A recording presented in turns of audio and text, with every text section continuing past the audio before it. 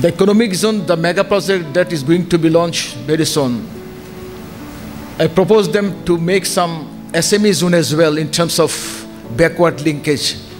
Thanks to this assessment, and all stakeholders really can contribute to training young people to prepare for, the, for these professions. And I think also another key issue is obviously women's participation in the labour market. It's still too low. And then the key findings that emerged were that skills gap is actually slowing down the economic progress and the economic growth in the Chattogram Cox's Bazar due to workers' skills gap and due to enterprise capability gaps.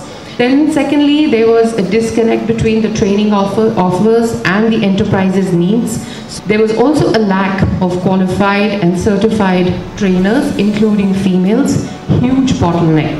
There was and continues to be employers' reluctance to hire graduates from tra these training institutes, and um, this has proven to be a big challenge. Uh, study that will sort of indicate uh, what are the kind of sectors and what are the kind of uh, jobs uh, that actually might be needed in those sectors. And um, I think it gives a very nice direction, but we also have to understand that it's not the totality of the jobs that may be needed. What our company has thought and moved into as a matter of strategy and policy is focus on the new developments that are coming into Bangladesh many institute is there, but this institute need to certify again.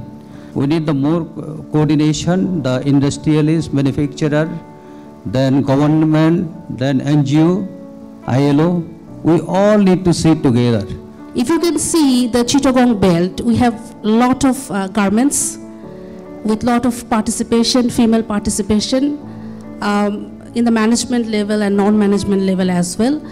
But unfortunately, steel industry is not because it's not very favorable workplace for a woman. The regularly monitoring and evaluation of participation of women in skill development programs to identify challenges and refine strategies for improvement.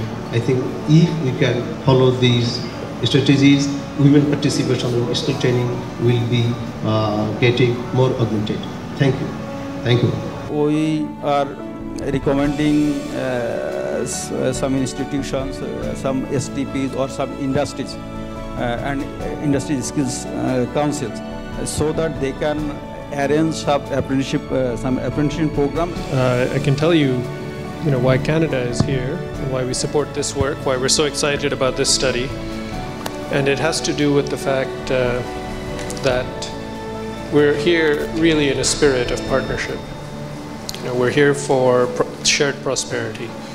That means for Bangladesh, for Canada, and we see the value in prosperous partners in working together to address common challenges.